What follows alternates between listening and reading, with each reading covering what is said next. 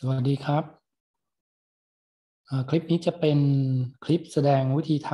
ำ Case Study 3 ข้อที่ 1 นะครับ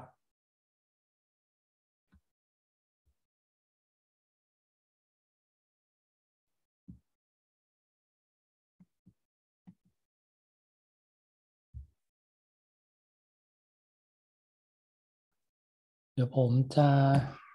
แสดงวิธีทำในตัว เอ่อ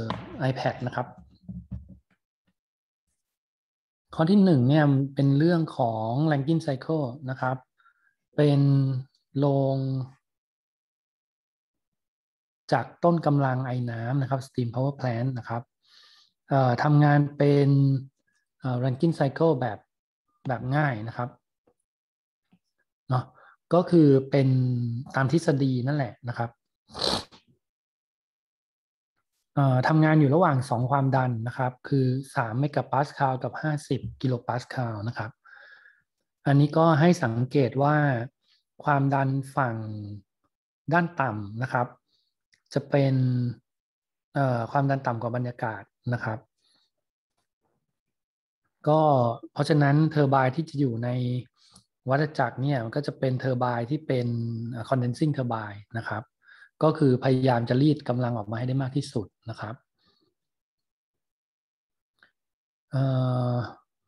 แล้วก็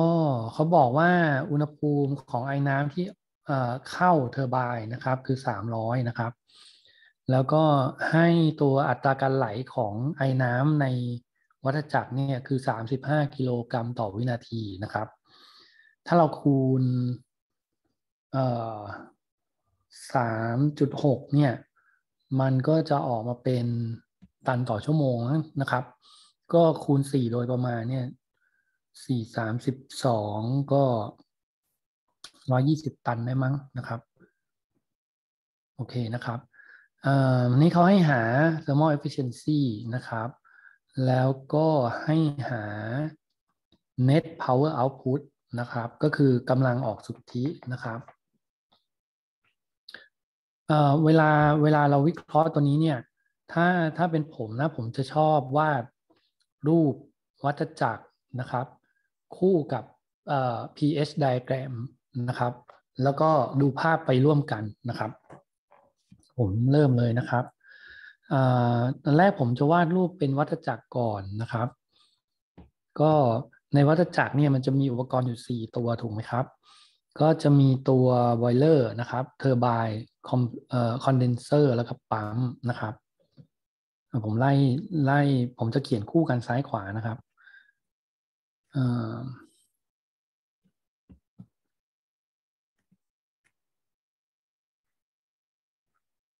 โอ้โทษทีนะครับแป๊บหนึ่ง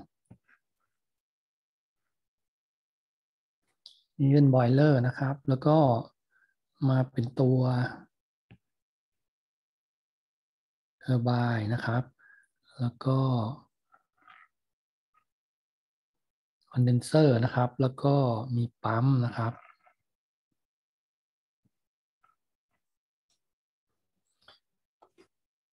ไม่ค่อยเนียนเท่าไหร่ไม่เป็นไรนะครับ แล้วก็ turbine ก็จะวิ่งเข้าอย่างนี้นะครับ เข้าเล็กออกใหญ่นะครับ ไปที่คอนเดนเซอร์นะครับ แล้วก็ไปที่ปั๊มนะครับ แล้วก็ ไปที่บอยเลอร์นะครับเราให้เลขสมมุติผมให้เลขตำแหน่งเป็นอย่างนี้ก็แล้วกันนะครับ ตรงทางเข้าทางออกของปั๊มเนี่ยก็เป็นเลขหนึ่งเลขสองก็ได้นะครับแล้วอันนี้เป็นสามอันนี้เป็นสี่นะครับ ทีนี้ เวลาเราดูวัฏจักรแรงกินหรือจริง ๆ วัฏจักรอัดไอก็ตามเนี่ย อยากให้เรา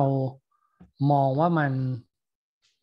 แบ่งเป็นสองระดับความดันแบบนี้เลยนะครับ ผ่าครึ่งแบบนี้เลยนะนะครับ ด้านบนเนี่ยจะเป็นความดันด้านสูงนะครับ แล้วด้านล่างเนี่ยเป็นความดันด้านต่ำนะครับ ที่เขาให้เรามาเนี่ยว่าเป็น3เมกะปาสคาลกับ 50เมกะปาสคาลคือเนี่ยแบ่ง 2 ระดับแบบนี้ได้เลยนะครับแล้วก็ เดี๋ยวเราค่อยๆมาไล่ทีละอุปกรณ์ก็แล้วกันนะครับ ทีนี้ผมจะวาดตัว pH diagram เนี่ยคู่กันให้ดูนะครับ แล้วก็ค่อยๆสร้างขึ้นมานะครับ ตาม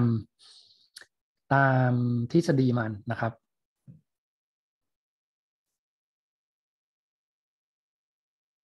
เดี๋ยวนะ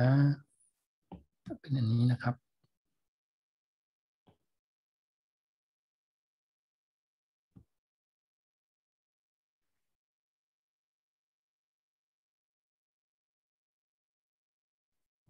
อะจะเป็นอย่างนี้นะครับ แล้วก็ตัว pH diagram เนี่ยทรงมันจะเป็นประมาณนี้นะครับ แล้วก็ทีนี้อีตอนเราวาดมันเนี่ยเราก็จะวาดมันเป็นสองระดับความดันนะครับ ก็คืออสมมุติผมประมาณประมาณเราแถวนี้ก็แล้วกันนะครับ เนี่ยเป็นสองระดับความดันแบบนี้นะครับ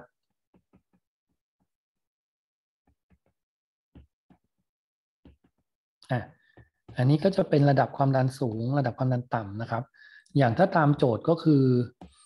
ก็คือ pH เราเนี่ยมันจะเป็น3เมกะปาสคาลนะครับ แล้วก็ความดันด้านต่ำเราจะเป็น 50กิโลปาสคาลนะครับตรงปั๊มเนี่ย ตรงปั๊มเนี่ย ในทางทฤษฎีเนี่ยเขาจะบอกว่ามันจะเป็นของเหลว อิ่มตัวนะครับ ก็คืออยู่ตรงนี้นะครับ อันนี้คือจุดที่หนึ่งนะครับ แล้วก็เวลามันอัดผ่านตัวปั๊มขึ้นไปเนี่ยเราก็ใส่งานเข้าไปนะครับ แล้วก็เราจะใส่งานเข้าไปนะครับ ตรงนี้นะมันก็จะมีการใส่งานปั๊มเข้าไปนะครับ ใส่งานปั๊มเข้าไปเนี่ยก็จะอัดแล้วก็เพิ่มความดันให้กับตัวของเหลวอัดอิ่มตัวนะครับ เวลามันขยับขึ้นไปที่ความดันระดับสูงเนี่ย มันก็จะขึ้นไปแล้วเป็นของเหลวอัดตัวอยู่ตรงนี้นะครับ โอเคไหมครับ เห็นนะ ทีนี้พอมันวิ่งเข้าไอตัวไอตัวงานเนี่ยมันก็จะวิ่งเข้าที่นี่นะครับ งานปั๊ม ทีนี้จากจุดที่สองไปจุดที่สามเนี่ย มันจะเป็นจุดที่ตัวสารทำงานเราคือน้ำเนี่ย มันรับ เอาความร้อนเข้ามานะครับ เวลารับความร้อนเข้ามาเนี่ยมันก็จะทำให้ตัวนี้มันเปลี่ยนสถานะนะครับ ก็เอ่อแต่ว่ามันจะเดินไปที่ความดันคงที่นะครับเออมันก็จะไปอ่าอย่างตรงนี้ถ้าเราวาดก็จะเป็นว่ามันรับความร้อนเข้ามานะครับ จากการเผาไหม้เชื้อเพลิงอะไรก็แล้วแต่นะครับในบอยเลอร์ แล้วก็ น้ำก็จะเปลี่ยนสถานะจากของเหลว อัดตัวเป็นของเหลวอิ่มตัว แล้วก็เป็นไออิ่มตัว แล้วก็เป็นไอร้อนยิ่งยวดนะครับ มันก็จะไล่สถานะมันไปตามเส้นนี้เลยครับ ไปตามเส้นความดันคงที่นี่แหละนะครับ ไล่ไปเรื่อยเลยนะครับอะมันก็จะเดินไปอย่างนี้นะครับ ไปหยุดที่จุดใดจุดหนึ่งนี่แหละนะครับ ตรงนี้ซึ่งถ้าเป็นโจทย์เรามันจะบอกมาแล้วว่าเป็นความดัน3เมกะปาสคาลนะแต่ว่าอุณหภูมิเป็น300นะครับ ตรง จุดที่ 3 หรือว่าทางเข้าของเทอร์ไบน์นะครับ แล้วก็ตรงนี้ก็จะมีความร้อนเข้าตรงนี้นะครับ ความร้อนเข้ามาตรงนี้นะครับ ทีนี้จากเทอร์ไบน์เนี่ยในทางทฤษฎีเนี่ยเราจะมองว่าให้มันเป็นมันจะทำงานเป็น isentropic process นะครับ isentropic process เนี่ยก็คือ entropy คงที่นะครับ ถ้าเราวาดบน pH diagram เนี่ยผมลืมมาร์กไอ้นี่ไปอันนี้เป็นความดันนะครับ อันนี้เป็น enthalpy นะครับ ตัวตัวถ้าเราไปวาดบน PS TS diagram อะไรเงี้ยเราอาจจะเห็นเป็นเส้นแนวดิ่งลงมาตรงๆอะไรเงี้ยนะครับ แต่พอวาดบน pH diagram เนี่ยสิ่งที่เราเห็นก็คือ มันก็จะเอียงๆเข้าไปทางซ้ายนะครับ เพราะว่า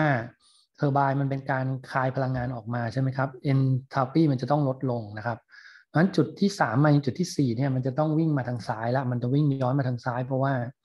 พลังงานมันจะลดลงนะครับ ในทางทฤษฎี เราจะถือว่า เราจะถือว่าจุดที่4เนี่ยเป็นไออิ่มตัวนะครับ แต่พอแต่แต่ถ้าเกิดมันมีข้อมูล จากจุดที่สามมาแล้วว่ามันอยู่ที่ความดันอุณหภูมิเท่าไหร่เนี่ย จุดที่สี่เนี่ย มันไม่จำเป็นจะต้องเป็นไออิ่มตัวนะครับ อันนี้ต้องทราบนะ แต่ว่าสามมาสี่จะต้องเป็นเอนทาปีคงที่ทีนี้ผมก็ไม่แน่ใจว่ามันจะเป็น มันจะเป็นสถานะอะไรกันแน่นะจุดที่สี่เนี่ย มันอาจจะเป็นมันอาจจะเป็นไออิ่มตัวตามทฤษฎีนะครับ หรือว่ามันอาจจะเป็นไอเปียกหรือว่าเป็นแบบมีมีหยดของเหลวนิดหน่อยนะครับ มีค่า x เกิดขึ้นมานะครับ หรือมันอาจจะยังเป็นไอร้อนยิ่งยวดนี่ผมไม่รู้นะครับ เดี๋ยวจะไปรู้ตอนที่เรากำลังวิเคราะห์อยู่นะครับ แต่ว่าผมจะลากเส้นมาตามเกือบเกือบจะเป็นทฤษฎีก่อนก็แล้วกันนะครับ ผมจะลากให้มันมันล้ำเข้ามาในในย่านที่เป็นของผสมนิดหนึ่งนะครับเพราะเส้นนี้จะต้องรู้ว่ามันเป็นเส้นเอนทรปีคงที่นะครับผมผมกำกับไว้นิดหนึ่งนะครับ ว่าอันนี้จะเป็นเส้น เอนทรปีคงที่นะครับที่กังหันเนี่ยมันจะให้งานออกมานะครับ มันจะให้งานออกมานะครับ ตัวหนึ่งเรียกว่าเป็นงานเทอร์ไบน์นะครับ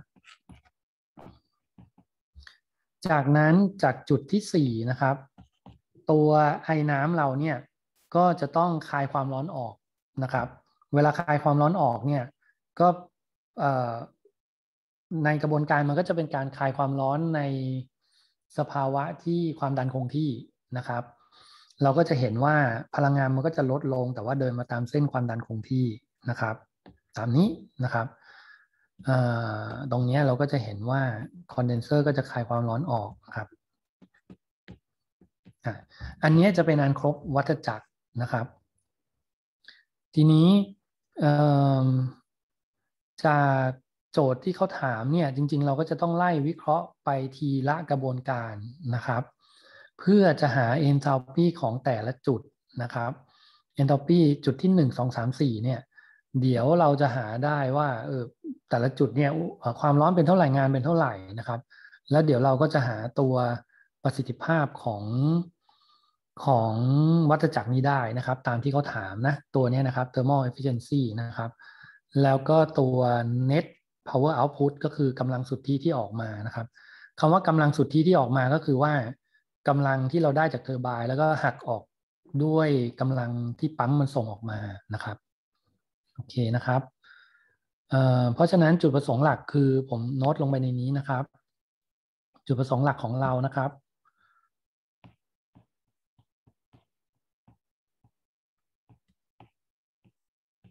นะแล้วเดี๋ยวพอเรา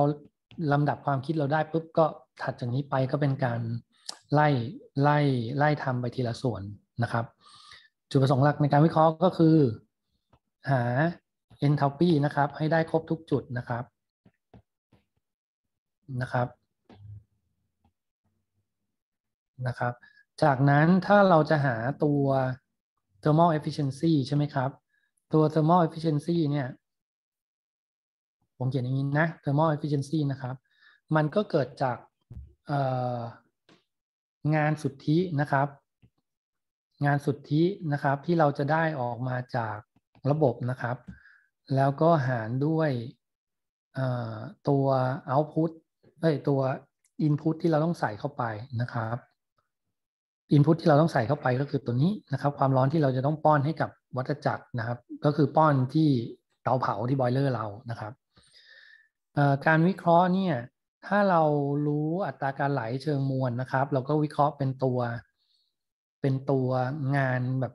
เต็มๆแบบนี้ได้นะครับ เป็นกิโลวัตต์เต็มๆแบบนี้ได้นะครับ แต่ถ้าจะให้สะดวกเนี่ยจริง ๆ เราวิเคราะห์ในรูปค่าจำเพาะก่อนก็ได้ แล้วเดี๋ยวเราค่อยเอาอัตราการไหลของเชิงมวลเนี่ยมาคูณทีหลังก็ได้นะครับ เพราะฉะนั้นตอนนี้ผมจะทำอย่างนี้ก่อนนะครับ ก็คือวิเคราะห์เป็นเชิง ค่าจำเพาะก่อนนะครับ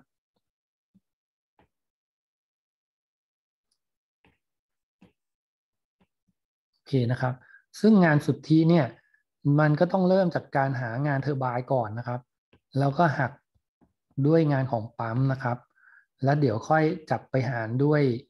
ตัวความร้อนที่เราต้องป้อนที่ที่คอมเพรสเซอร์นะครับ ซึ่ง ปรากฏว่าถ้าเราอยากจะหางาน turbine ใช่ไหม